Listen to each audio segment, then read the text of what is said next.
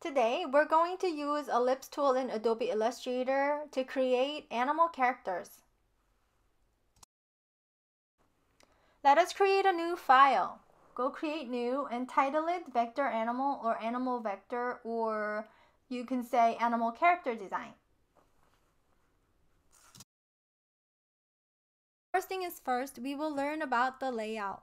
So interface. So first thing we notice on top, this is called menu bar. So if we go to file, you can create a new file or you can save, save as, save as a copy. But the really important thing about Illustrator is if you want to share the final product with somebody, you have to go export it, export it as, and you can choose some files that you can put it, upload, or um, share with somebody else without using Illustrator tool. And edit you can see paste, spelling check, etc., etc.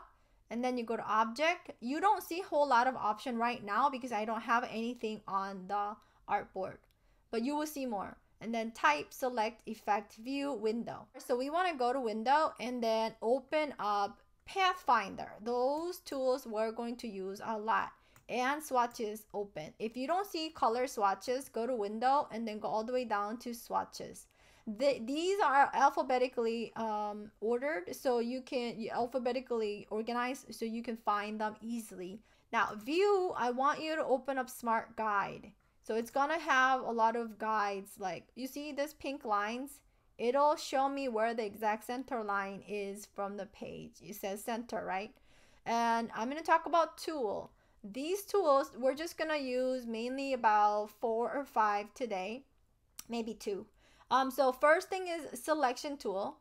And then we're going to use rectangle tool or ellipse tool, round rectangle, polygonal tool, all these tools. But we're going to use the ellipse tool only. And then we're going to go on to here. This is inside color. This is stroke color, outline color. And this means you don't want any color on those things. So which one is on top? This is fill. So if you don't want any color inside, you just want the stroke, you go click none over this fill. So if I create something, there's no color. Right now it's white on white. You can't see it. But if you have a color, you will be able to see it better. Or some, some okay, let me try this. See, you can see through because there is no color inside. Okay, I'm gonna go Okay, and this one, if you want some color here, but then you don't want the outline, you click on this so that you see this is in the front and then you go none. So then right now I am creating, oops, those shapes. And you just notice what I did is I click on a blank spot. And if you really want to measure exact size, this can happen too. So if you want a perfect circle, and I'm going to change it, 300, and click OK. So this is a perfect 300 points circle. Okay, that's how you measure things. Okay. If you press down the shift bar, I mean spacebar on the bottom on your keyboard. This one turns into a hand, little hand, and I grab it, move it around. This white space is called artboard, and I can just click down and move around my artboard, okay? And if you have another shape, one shape over here, I just randomly made it, and I go to the selection tool and click down on option key, and then move it over, I immediately can make duplicates? And if I want to select more than one shape, I press down the shift key on my keyboard and click, click, click. You notice those four things are selected because you see the blue dots in the center of the circle. And the bounding box is just going around those four shapes. And those two are not selected, so I can just move them around, just four of them what if I select uh, these two? I'm, I can also go drag over these two shapes and then you can select those two. But sometimes you just drag over and accidentally selected three when you want just two. My shift key down, you can select or deselect whatever item that you want to um, select. Okay. What else? And oh yeah, if you want to make something really perfect from the center, I hover over on a blank sheet of a blank sheet of artboard and press down the shift and option and you see this one becomes really big in proportion from the center of the page. Okay. How is it different? So let me show you. So usually if you don't press down that, you can just drag it. You see it's actually uh, getting bigger from the side right here. This is where I started. It goes like this. But if I go this and press down the shift and option key, it becomes larger from the center point. So I know exactly this is in center. And if you want a perfectly proportionate circle, then you press down the shift key and then this becomes a circle. So all those shortcuts are important for you to create something more proportionate and uh, appealing. Now let's create a vector animal using ellipse tool. First, go to the shape tool and click down on it for two seconds to look for ellipse tool if you don't see it. Sometimes you see rectangle. And if that happens, just cancel it out. And then you're to press down the shift key and option key together to make a perfect circle from the center. And this is going to be the face of the animal. And then you are going to create a, an oval. This time you don't want to press down anything because you don't want a perfect circle because it's going to be the ear. And then I'm going to make a panda. So I'm going to make another oval inside the face. Only covers up the half of the face. And I'm going to hover over my cursor to find the angled arrow and rotate it a little bit.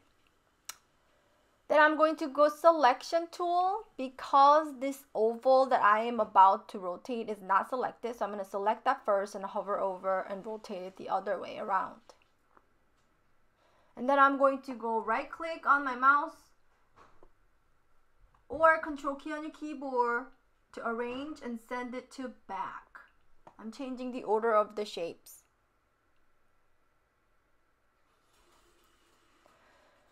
Then I'm going to go to ellipse tool again. This time I am going to make the eyeball with the perfect circle. So I'm going to press down the shift key. And then I want the highlight, which is like a really light circle. So I will move it over. Sometimes you have to zoom in to do that because cursor will be not exactly choosing what I want. And then I'm going to go to selection tool, choose ear, shift key down, one, two, three, four circles, not the face, only those and then go to object, transform, reflect. And I'm going to click on vertical and copy. Then that group that I selected just copied. And now I'm going to move it over so now I know that they're perfectly symmetrical. Now I'm going to click on the ear again. Control key down or right click on your mouse and send it to back. And then I'm going to go to ellipse tool again for the nose. There we go. So we have the whole face done.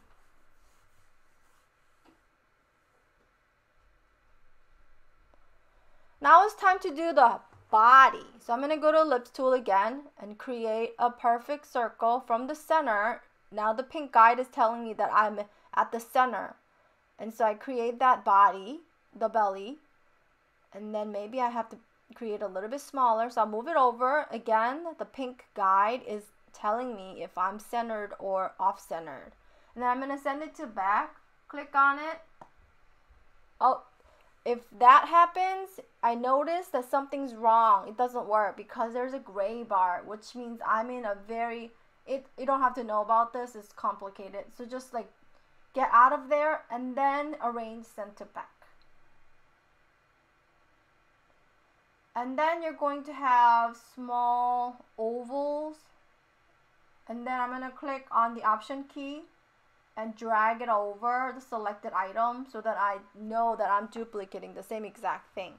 Sometimes I make a mistake by clicking on a blank sheet with the ellipse tool.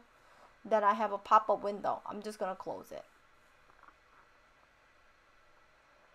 And those feet are a little too round. So I'm to do it again.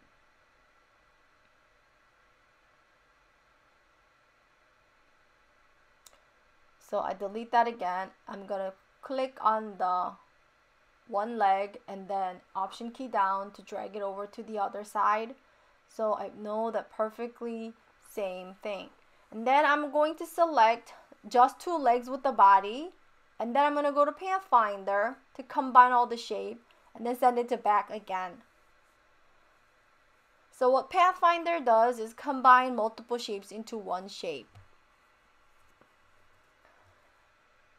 And then I'm to color. So I am going to select any shapes that I want the black and then I'm to fill and then click black. So when you're selecting multiple shapes, press down the shift key on your keyboard. And then because the eyeball, if it's completely black, it's to be black on black. So I'm to pick really dark gray.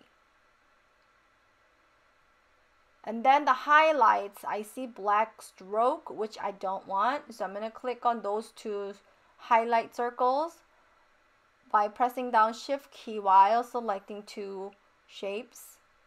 And then go to stroke and then none. So those are white but no black strokes. Now I'm gonna just stretch my cursor uh, over with the selection tool to choose the entire thing and then move the entire thing over to the side. And I'm going to start another character. This time I'm going to do the bunny. So same thing, I'm gonna press down the shift key and control key down to make a perfect circle.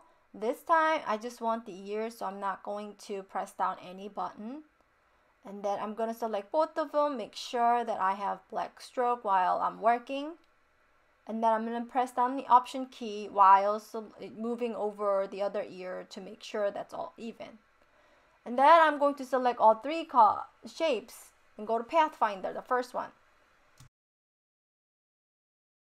Now I'm going to create the inside of the ear. So I'm going to go to ellipse tool and choose um, draw on an ellipse, like long one that it's a little smaller than the actual ear. And then create another oval shape that's kind of like as big as the face. Um, and then I am going to select both shapes with the selection tool. Go back to the selection tool once you create the circle and select those two shapes and go to Pathfinder and choose subtract. That means the circle which is on top will be subtracted from the long oval. We want the exact thing again so we go object transform reflect choose vertical and copy. And move it over once it's copied. So now you have very symmetrical ears and all the face too. Same thing with the eyeballs. We're gonna make one side and then do you notice the eyes should be lower?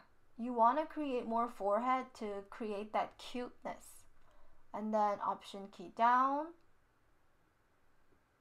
Oh you want the highlight. White highlight otherwise it kind of looks really dark. Yep right there. And you want to go zoom in a little bit to make sure you you arrange it correctly. That shiny ball eyeball